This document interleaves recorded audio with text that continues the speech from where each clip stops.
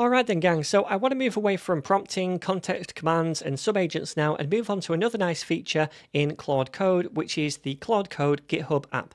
And this is something we can set up easily from within the Claude Code chat session, and I'm going to show you how to do that in a moment, but basically, when we install it, it creates two GitHub actions for us automatically, which are both really useful. The first one is that it can auto-review pull requests and provide feedback on those pull requests. The second one allows Claude Code to automatically work work on issues on a new feature branch when you mention at Claude inside it. Now, before I show you how to set up this feature, I will say that you need to have the GitHub CLI already installed on your computer, which you can do by following these installation instructions. So I'm going to leave a link to this repo down below the video. But essentially, you can just install it via something like Homebrew on a Mac or Winget on Windows. It's all really simple to do and it outlines these steps in this README file.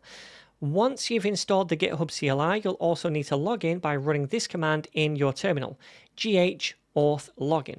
Once you've done that, you're ready to set up the Claude Code GitHub app. Alright, so inside Claude Code, we can use a built-in slash command, which is forward slash install hyphen GitHub app. And I'm going to press enter here. And what that does is set up the GitHub actions for the repository that we want to give it access to. So I'm going to press enter and then it's going to ask us which repository we want to use. We can enter a different one if we want, but I'm going to use the one linked up to this local repo right here that I'm in. So I'm going to press enter on this option. Then it's going to open a browser and it's going to ask us to install Claude Code on GitHub. So let's click the install button over here. We need to authorize it. Now you can choose to allow it access to all repositories or only select repositories. I'm just going to select this one to give it access to the Claude Code tutorial one which is this down here. And then I'm going to install and authorize this. And then once you've authenticated it and installed it on your GitHub account, you can just come back to the terminal and press enter to complete this. And it says select GitHub workflows to install. We're going to install both of them. I'm just going to press enter.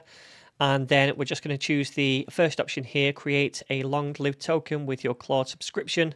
It's going to ask you to authorize with your Claude Code account. So I'm going to do that.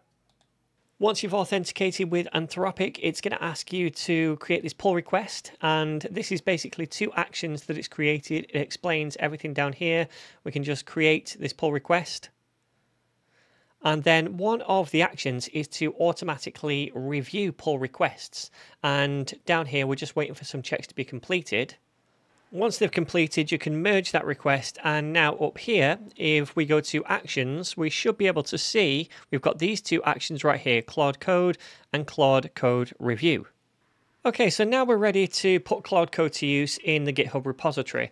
And I'm going to create an issue in a second. And the issue is going to be that this title up here doesn't link to anywhere. And ideally, it should link to this page, the home page. So let's create an issue and tell Claude Code to handle this. All right then, so let's head to issues and we're going to create a new issue. We'll just say link from title missing and then I'll say there is no link from the title in navbar to the homepage. All right, so I'm going to create this issue. Now, nothing happens automatically. But if I come down here and mention Claude, I can just say at Claude, and I'll say, can you fix this? I'm going to comment over here, and hopefully, just after a minute or so, Claude is going to start work on this task. And you can see now Claude has picked it up and it's starting to work on this issue. Alright, so it's created this little to-do list, much like it does in Claude Code within the terminal, and it's looking at the different things it needs to do, examining the current navbar, adding the link for the title, it's going to test it, then it's going to commit and push the changes, then it's also going to provide a PR creation link, which we can go and take a look at. Alright, so it's finished its little to-do list now, and there's a summary down here to say that it's fixed it and any changes that have been made. It's also created the PR, or rather it gives us a link to create the PR based on this edit. So if we go there, it's pre-populated this description and also the title for the PR. I'm going to create this pull request. And when we create a pull request, Claude Code automatically picks up on the pull request and provides us with a code review. And you can see now down here, the Claude Code review is going in the background. Okay, so now it's finished its review and we can see the feedback down here. We get a big green tick, which means it's pretty good overall. So we get a tick for code quality, a tick for bugs, a tick for performance and security. Overall, it says approve. Yep. All right, so let's go down here. We can merge the pull request now and confirm the merge. Okay, so I just pulled down those changes so we could preview this in a browser. And now if we hover over this title, you can see it goes purple. We get the little pointer icon. And if we click on it, it goes to the homepage. Awesome. So that's now working.